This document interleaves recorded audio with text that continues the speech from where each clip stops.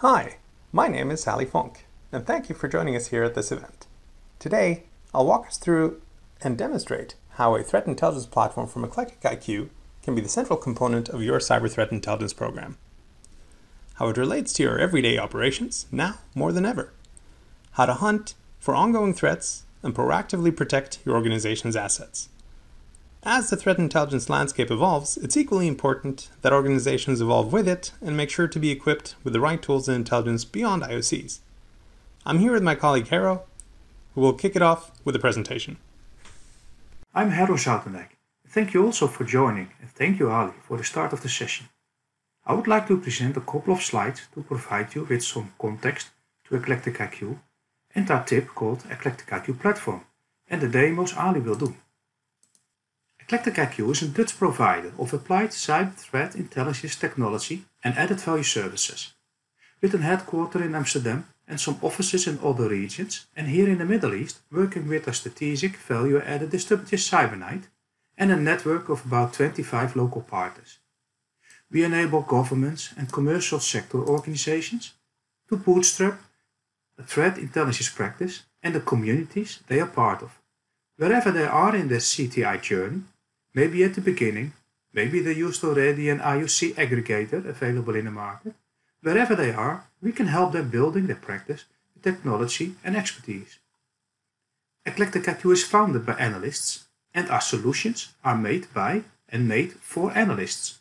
So very analyst-centric and empowering them to take back control of the threat reality of the organizations they work for and mitigate exposure accordingly. You can find analysts working with our solutions in units or departments called SOC or CERT or Fusion Center, Intel and Hunting Teams or ISACs. EclecticIQ is an active contributor to OASIS and the open standards for cyber threat intelligence, STIX and TAXII from the very beginning because with our analyst background we do believe in the power of open, open data models and open architecture. Both are key principles for our solutions. Our vision on CTI and our innovative solutions are recognized well by customers and by the market with numerous sector-specific awards as you can see at the bottom and the logos at the right side. Our portfolio consists of six elements with the platform Ali will demonstrate today at the top. Following clockwise, we develop platform integrations to, for instance, SIEM solutions such as Splunk, QRadar, ArcSight, LogRhythm, and more and to other operational security technologies such as orchestration, network or endpoint detection and prevention. Our team of analysts in our Fusion Center helps customers with aggregating and producing intelligence and also with training and coaching via our Academy and value-added services. We recently joined forces with PolyLogyx, a creator of endpoint and cloud workload threat detection and response technologies we will use our combined capabilities to reimagine how security analysts detect, hunt and respond to sophisticated threats. What is cyber threat intelligence? There are multiple definitions, but here in the title we have a short one that includes the essential elements. Cyber threat intelligence is all about knowing what your adversaries do and using that information to improve decision making. That is beyond aggregating IOCs and sending them to your SIEM, which is often a starting use case for organizations. The knowing, here in this definition, should include all pieces or forms of data or evidence to understand the full picture of threats to your organization and the adversaries, their motives, tactics, techniques, procedures they are using, the fingerprints or IOCs, and the possible course of actions as you can see in the nice graph left with the real STIX icons. You will see the same STIX icons in the graph analysis Ali will demonstrate and this provides the analyst insight with just a glance compared to color dots and lines only. A threat intelligence platform or TIP such as EclecticIQ platform enables the analyst producing intelligence for a variety of use cases on strategic, tactical and operational level. The intelligence process is often pictured as a cycle with five steps called the intelligence cycle. Rather than giving you a mini lecture about it, I would like to make it more concrete with the four steps here, starting with the ingestion of different forms of data from different sources into the knowledge base based on the STIX data model and to enable the analyst creating a more comprehensive view of the threat landscape. Then, the technology supports the analyst make the connection between seemingly unrelated dots and validate their hypothesis quicker.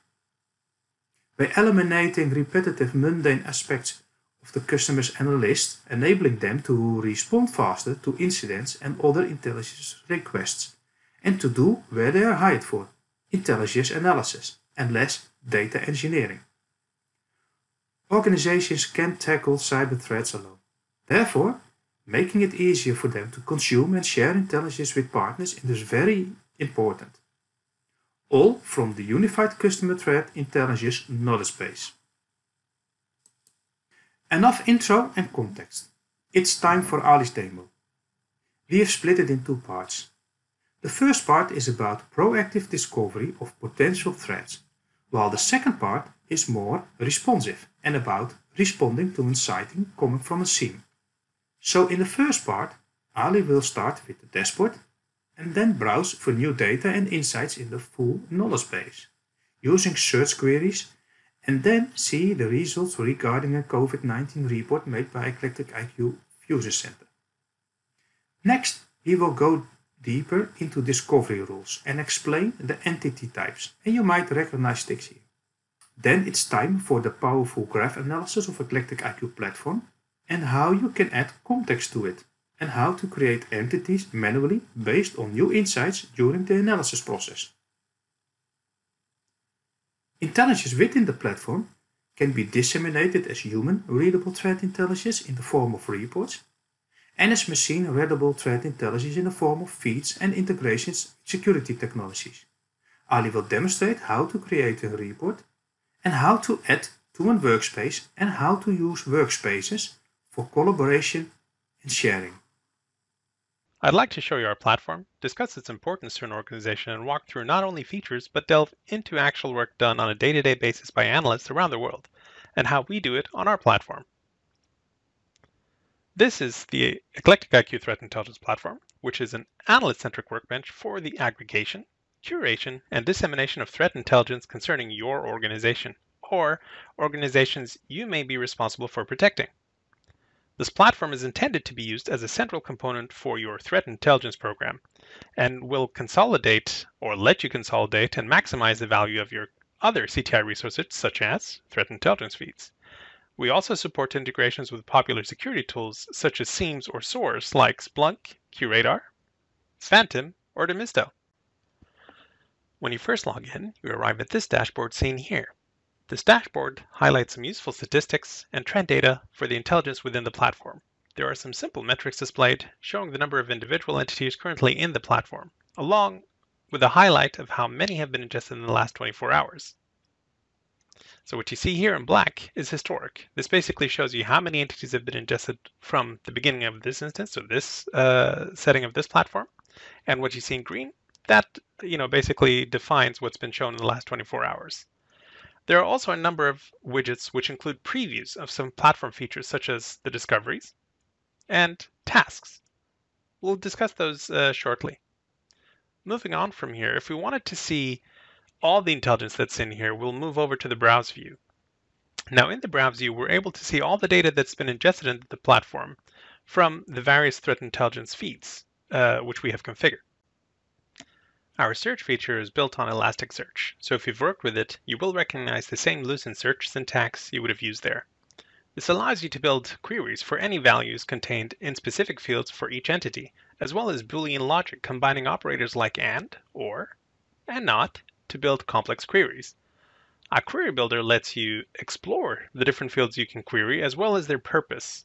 So if I were to show you here, but just by typing data or clicking on it, you'll see that it starts coming up with all different type of uh, options, including if you uh, hover over the tooltip, it'll also tell you what it's used for and how it's used.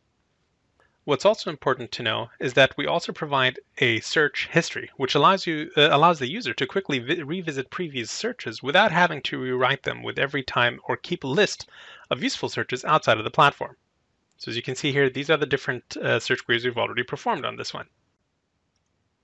So if we were to run a quick search, you'll see that we can filter for very specific results depending on the fields we choose. Let's search for any report entities, uh, and we'll limit our search uh, results to a specific source that we're ingesting intelligence from. So in this case, it's going to be the Eclectic uh, Fusion Center. And we'll add the keywords COVID and also look for phishing to focus our results about the current pandemics that we're all facing. And let's see how that um, you know progresses. Because if we can notice now, we have over 5 million entities that are actually currently showing in the search, and we want to narrow that down. So let's start by typing data.type. And you can see the system is already telling me, is this what you mean? Yes, it is. Thank you. And I want to say that I'm looking for a report entity. There we go. Uh, I'm going to add the add uh, operator. I'm going to say that I'm looking for a source name. Uh, and it's going to pop up and show me which source would you like. And these are the sources that I'm currently ingesting into this platform. So I'm going to select the Eclectic IQ Fusion Center. What I'd like to do is I'm going to say, and I'm looking for COVID. And I'm also looking for phishing. If I hit enter there, you'll see that we went from 5 million and more entities to down just to 20. So let's take a look at this entity in detail and see what it actually shows us. So to begin with, let's select the very first report in the uh, results list. On the right side, I've got the details pane open, which can be opened for any entity in the platform to explore all available information. Phishing is a threat I think we can all relate to, and both uh, our existing customers and no doubt your own users and customers are all at a high risk uh, at the moment given the current global uh, crisis. Everybody's been uh, working from home, no longer using uh, work resources behind corporate infrastructure, using new technologies as well as personal devices. It's a unique situation that has really broadened the threat landscape, and a lot of malicious actors have been taking advantage of this. So for report entity, we're expecting a good amount of detail uh, to give us context uh, on the threat. We already know from the uh, search that this report concerns phishing, and the theme is the coronavirus pandemic. And the detail pane will give us the remaining information, including common metadata like timestamps, tags, the source, and more unique values such as uh, TLP, or Traffic Light Protocol, which relates to the sharing of intelligence either internally or with third parties. So from here, we can actually see the tags, we can see the estimated time, information sources where this is all gathered from, and of course the sources. So we've seen that users can make use of searches to quickly find things they're interested in. But if this is a daily process, they can configure discovery rules. These are saved searches that are run on a regular basis, and any newly matching intelligence is displayed in the dedicated discovery view. We saw this at the beginning when we first logged in. So this is our discovery widget that will show you entities as they pop up. And these entities are actually found through the discovery rules that we've configured. Let's just go to our uh, configuration for uh, discovery rules. So here we are. This view is essentially the first port of call of analysts using this platform.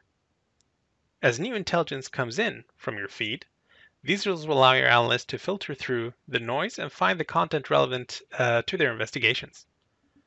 Some examples we see here are simple rules to return any intelligence matching specific words such as the threat actor TA505 or intelligence that's, let's say, uh, tagged with specific areas of industry or perhaps alerts from an integrated SIEM tool which need immediate investigation.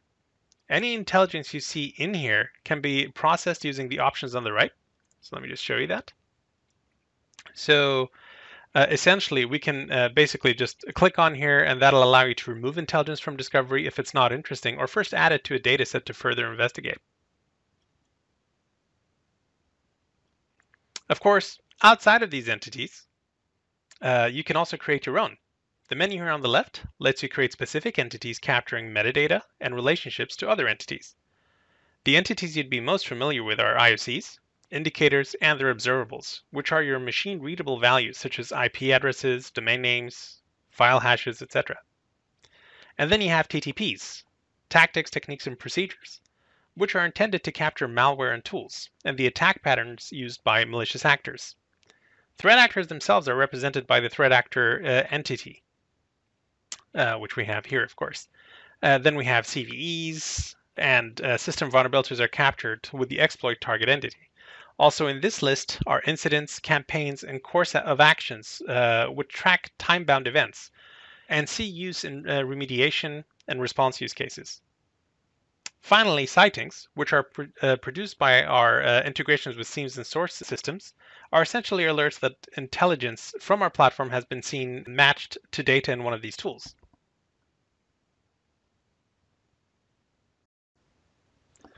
Okay, so we've covered searching, as well as creating entities. So let's go back to the report we found and go into a little bit more details. So I'm going to click on Browse. We'll see that it's still open here. So one thing to note is that for any entity in the platform, we can load it into a graph and explore relationships between our entities, discovering uh, you know, additional intelligence that may be related. But most importantly, add context to the ingested threat intelligence and actually see what how everything is connected to each other. If I click on the Neighborhood tab, we can see uh, in this tab that there is a preview to show us related entities. But rather than go and work on this one, let's go and load uh, the entity into the graph directly and explore it ourselves. So I'll go back to Overview. And uh, what I'll do is if I click on the icon here to the right side, I can click on Add to Graph. This will add it uh, to the graph that I have open. And here we have it, the phishing attack uh, exploiting coronavirus. If I were to open this up, and I click uh, on the view more, we can actually see the full report, including some details about hashes, uh, the STIX, uh, uh, relevant ideas. We have the findings and links to that, uh, including quite a comprehensive uh, discovery that's been going on. Now, of course, what we want to do is from here, we might want to discover other things. So we want to pivot information and uh, relationships are intended to infer a lot of context about any given entity, and some entities really require relationships to provide sufficient detail to an investigation. So what I'm going to do here is uh, within the graph itself, uh, maybe I should also explain that the graph is a core component of our platform and is intended as a primary investigation tool for users. If we right click on any entity in the graph, we'll get a context menu. So if I do that there, I'm right clicking, we'll get a context menu. So this menu here allows me to uh, create a couple of options. So what we're going to do is we want to load entities just to see what's going on. So if I click on load all entities, instantly we go from just having one phishing email or one phishing report uh, to quite a few other things. And immediately we can see that there's a number of relationships to different entity types, and these uh, will help us to understand this threat. From this report, we can see one relationship to another report, which may contain more information about this threat or link it to even another threat. Uh, so we have here an internal report. We have one that goes into uh, the German public services hit with the Emotet attacks, uh, and so on. This second report describes German public services being hit in targeted Emotet attacks. So perhaps the Emotet malware is being delivered as part of a phishing attacks uh, described in our first report. Again, we can click to access the details. So just like that. And we can view the full content to read more about, you know, how and what has been discovered. It also shows us more about taggings and the references, which sources this is coming from, of course and understand the relationships. We also see some other relationships, including a campaign, which one uh, is over here, multiple TTPs, some indicators, and even a CVE exploited target. Um, at just this quick glance, we can quickly understand what this threat consists of, how it may relate to other threats, and uh, this was just the first uh, set of relationships. We can also manipulate the structure of the graph to better visualize our data. And uh, we have a number of different methods that you can see from up top here. So, I mean, we can look at the standard model, which will shift things around uh, this way. If we click on, let's say, hierarchy, it basically gives us uh, the way that these files uh, relate to each other in a specific manner. My personal favorite is structural. What this does uh, essentially is show you entities that are linked and subbed out from each other. So essentially for our phishing uh, uh, report that we have here, um, how it links to uh, the campaign and which attack pattern that has been used in connection with the hash that's there. Everything else that's orphaned or left out is then basically spread out to the different sides. And if we look at the uh, hash that is relating to um, our phishing report and open that up, we also see that this is essentially something that's been deployed and dropped through a downloading system from a, a malicious Word document. Now, since this is an indicator, we expect this to contain observables representing the hash file. These observables may be unique. So if I click on observables, we can see that there are indeed three observables here. And these are unique within our platform, which means that any other intelligence within the platform that describes or relates to these observables will be linked. This is a fundamental part of our platform and is how you can pivot and find relationships between entities from different intelligence sources. If we load entities related to these hashes and check the details for each one, we can see that they're all from different intelligence sources configured within this platform. So if I were to click on filters and scroll down here to sources, now if I hover over any one of these sources, we can see where uh, certain things are unique. And if we take a look here, like if I hover over Flashpoint, we can see that one specific hash is unique uh, coming in from uh, Flashpoint. And if I go over to MISP, MISP actually has the one that Flashpoint has already provided, plus they provide one more uh, hash. And this hash isn't a duplicate, it's actually a new unique hash that's coming from them. They also happen to have the hash file that's coming in from Flashpoint, but because it's there, it's actually merged together and becomes one single entity. And if I then go over to Kaspersky, Kaspersky provides all three hashes, including a new one. And of course, rather than multiplying every single time that we get a new entity into the platform, the platform automatically recognizes this, correlates it, and deduplicates, which makes it so much easier for the analysts and reduces so much noise from the actual search and allows you to focus exactly on what's important. Now, before we move out of the graph, I want to show creating entities manually. Your users may want to conduct their own investigation and create the relevant entities as they go along. Perhaps they have some IP address or uh, from some internal activity they want to investigate and then write a report about it. We can create new entities in a variety of different ways. Now, either we can go to the left pane here and uh, select, let's say, uh, to write a report, and we'll get a pane like this. But to simplify our tasks for any analyst from within the graph itself, we can actually uh, choose to create an entity from our in-graph functionality. So if I click on Create and choose to say I'm going to create a uh, new report, we see that uh, a report icon comes up. What I'll do is I'm going to call this um, our COVID investigation results. Hit enter. This entity has now been temporarily created. What I can do from here, of course, is if I right click, I can add relationships and instantly connected to whatever I want uh, in the graph. And let's say I'm connecting into the campaign, the attack pattern here, and the phishing attack, and the hash file. And I can confirm this to uh, make these relationships permanent. Of course, I'm not going to do that because that's not the case here. And of course, um, if I were to double click on this, we'll get the same pane that we saw before. Here, we already see that we've got the name in there. So the COVID investigation results, we can add a summary. We can add an analysis. We can even add a recommendation section. And you can add more information here that you might want to have. You can add attachments, uh, have a terms of use and samples. We can save this as a draft and uh, once we publish it, this then becomes available within the system. We can save this graph that we have, and we can add it to our workspace. And what I want to do is I want to add this to my SOC workspace. So I'm going to add it to the SOC team and click on Save. This has now been added uh, to that workspace. Uh, now, since we've touched on this, let's actually go into our workspaces and discuss that for a little bit. So what you can see here is we have quite a number of different workspaces. Um, so we've explored uh, our data using the search and graph features of the platform, but we want to be able to organize our data so that we don't have to search for it every single time. We do this by using workspaces in combination of data sets. Now, workspaces are as simple as the name suggests. They act as areas of, in the platform which house uh, this data within any one of these workspaces, if I were to select, let's say, the APT28 uh, here, for an instance, uh, I can click on uh, the Browse view. And here we see the entities that are uh, basically added to this through a dataset. So if I were to go to datasets, we can see here that we have quite a few different datasets that are hooked up to this um, workspace. Each dataset, again, is just predefined searches that have been saved uh, and making the life of the analyst so much easier to working uh, with these things. And of course, like I mentioned before, This simplifies and makes the life of an analyst so much easier by organizing and categorizing the information through workspaces and the use of data sets.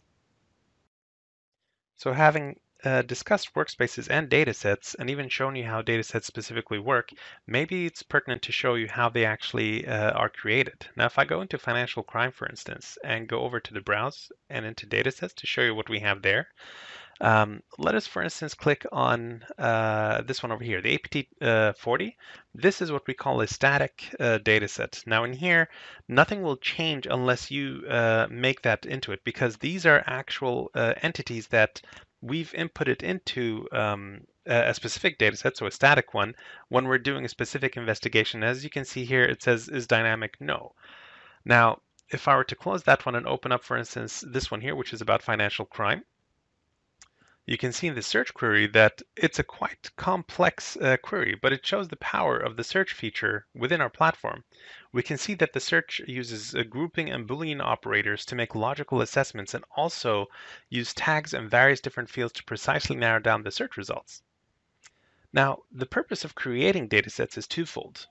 One, datasets allow your users to organize the intelligence they're working with and therefore be more efficient with their tasks and investigations.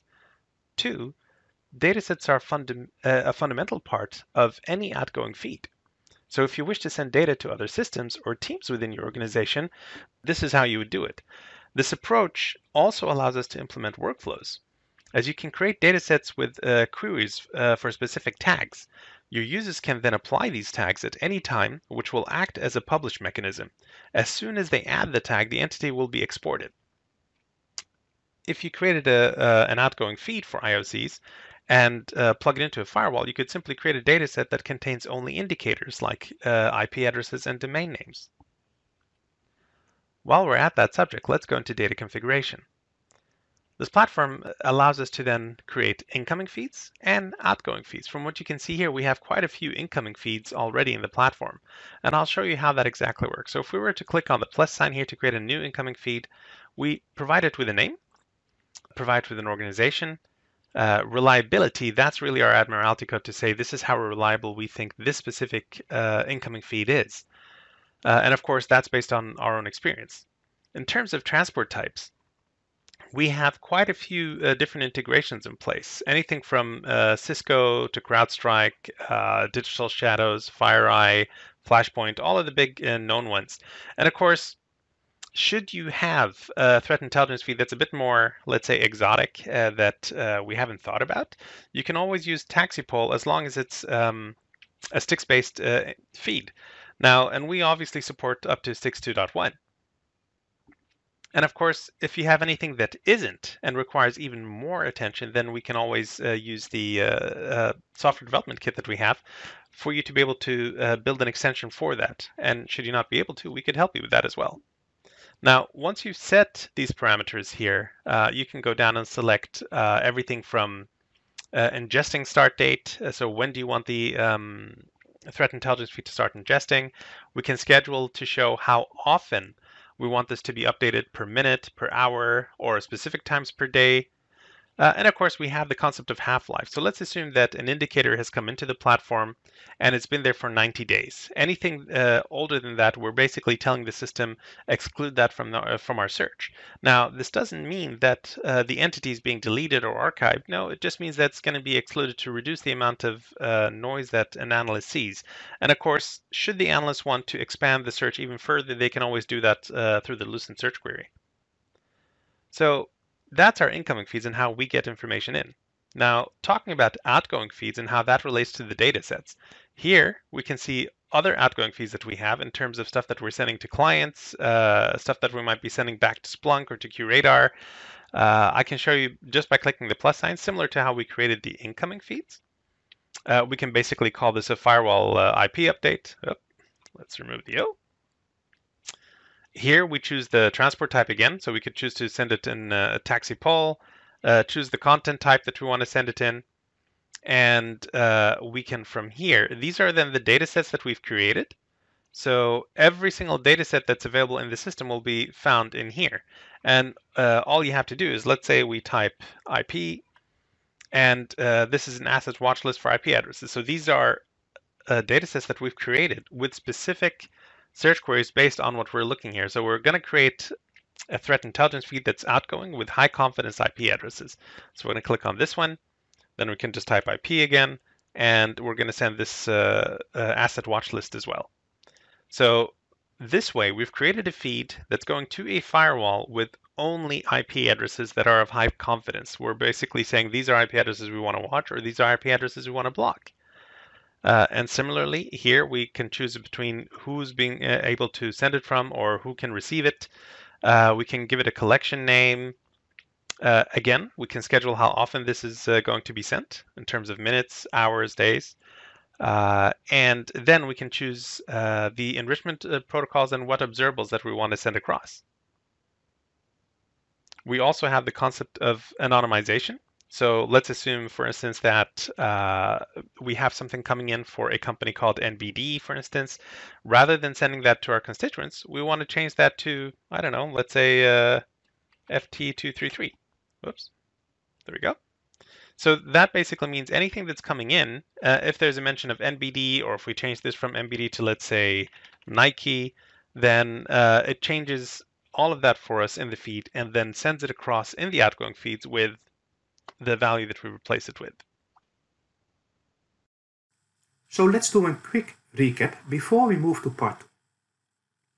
We have seen that all data is normalized and structured in the open standard STIX that allows you to correlate different sources, even if they use different aliases like APT28 and Fancy Bear as it was initially called by Mandiant, or Palmstorm, Sofacy Group, or as Kaspersky called them, Sednit, Tsar Team by FireEye, etc. All these vendors, and there are about 40 more commercial vendors, have different data formats and conventions and different views. Same for the many open sources. With the EclecticIQ platform, you structure them in the unified STIX format that allows you to create a holistic view and allows flexible use and secure not losing content or context when sharing with others. The platform has a catalog of pre-existing integrations so analysts can use data without hassle of data engineering. And if that's not enough, they can use Stix or the system development kit and make their own integrations or even extensions to the platform. The rich graphical analysis workbench, also based on STIX, helps analysts understanding threats faster and understand the full picture. Helps them to investigate at new contexts and entities and produce relevant and actionable intelligence beyond IOCs. You've also seen the workspaces. Workspaces are containers or collections of data within the full knowledge base and help you to organize your intelligence along themes or along threat topics or categories, such as campaigns, or certain technologies, or along threat categories and scenarios you might have defined in your risk management program. And as such, support you creating the connection between your information security program, risk management program, and threat intelligence program. The workspaces are built on static and dynamic datasets, supporting collaboration between the different teams and stakeholders in your organization, and in particular the dynamic datasets reduce the intelligence analyst workload significantly. In the second demo, we will follow a scenario with a sighting coming from a SIEM. In this case Splunk.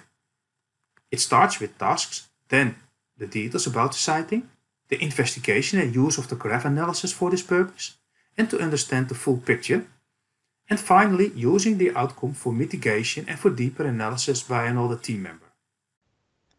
So we've discussed workspaces, datasets, how they work together with each other, uh, how we categorize information for incoming and outgoing feeds, uh, and essentially we've also discussed about uh, how we search for information, how we can add context to that by uh, investigating further on the graph. But what about if we've got uh, something coming in through a SIEM, let's say a sighting or so? How would we deal with that? Now, to do that, let's just go and take a look at the dashboard again.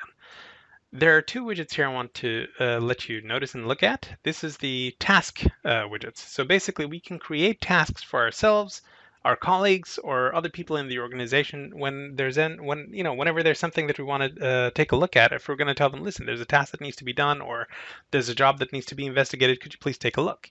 In this specific case, I do have one that's assigned to myself, and it says investigate sighting. So if I were to click on it, I get a very simple information at the top saying uh, a hash was detected uh, in an email attachment. Um, and I see that it's in the workspace uh, SOC team. I also see that there's a, a, a, sighting Splunk activity for hash.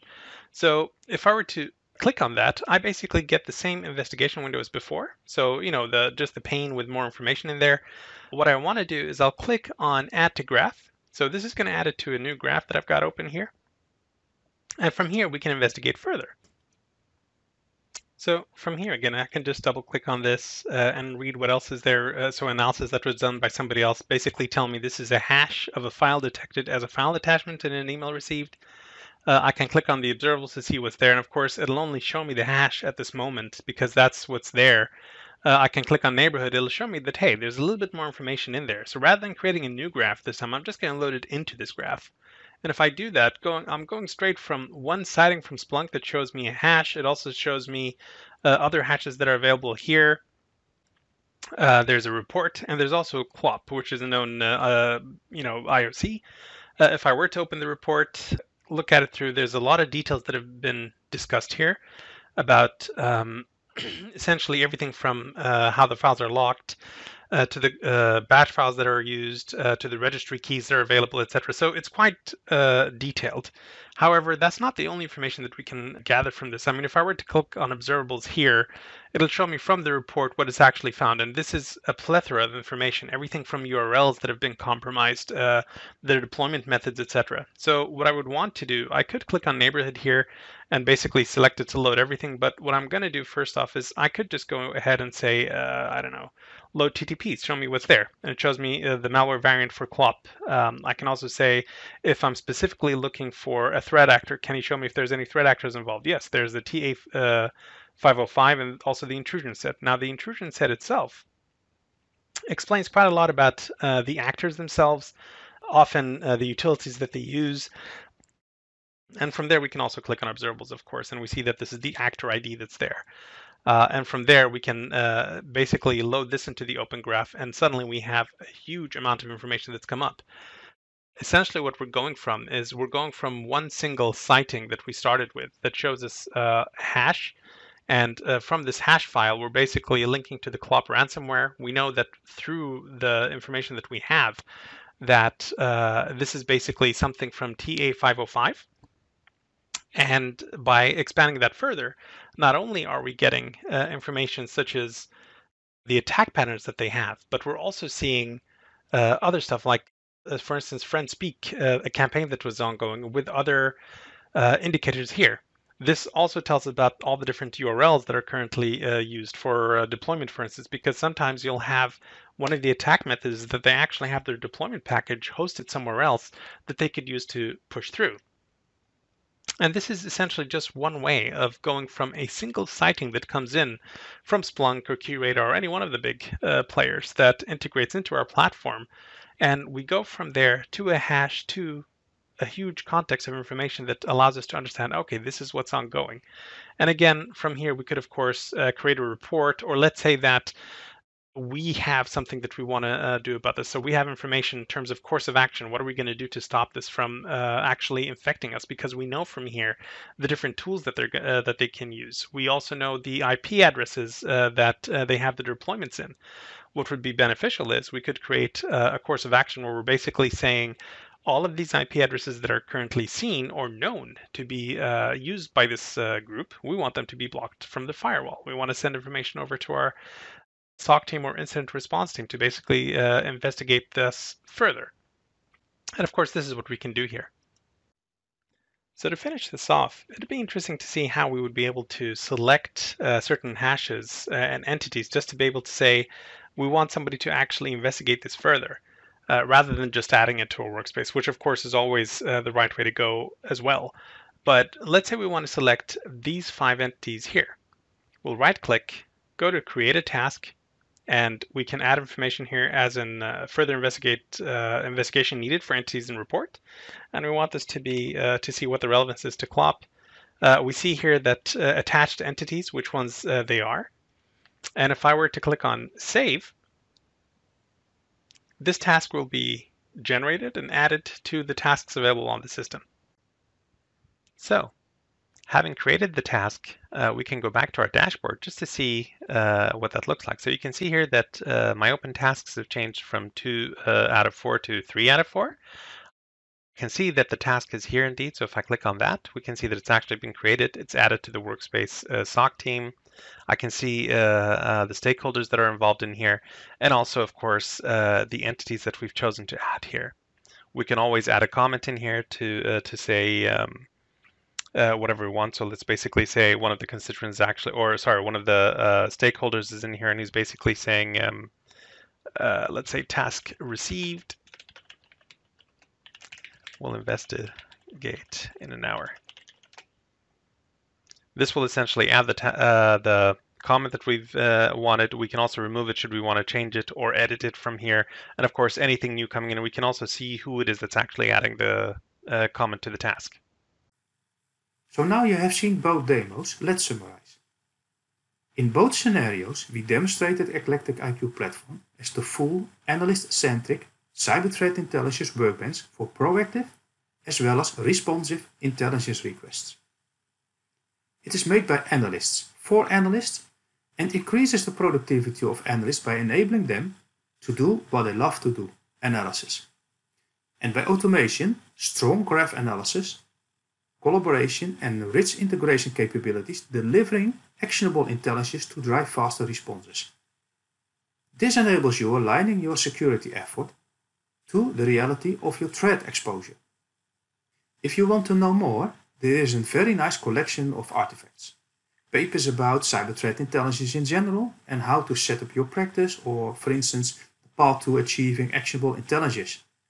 Of course, papers about the products and value added services we have and a lot of blogs and videos ranging from the EclecticIQ monthly vulnerability trend report and the weekly EclecticIQ pandemic intelligence update, also known as the COVID-19 blog, as well as specific topics related to ransomware, critical infrastructure, getting the most out of threat intelligence ingestion, CERT or incident handling processes, or whiteboard sessions with our CEO Joep Gommers, for instance about an agile approach to CTI. You can find them via our website or just sending me an email. With that, thank you very much for attending this session. We are looking forward to hearing from you or meeting you in a virtual booth for questions you might have and or your feedback on this presentation. We are always keen to hear from people in the threat intelligence or wider information security and risk management fields, their view how, together, we can make the world a little bit more cyber secure. Thank you again and have a nice day.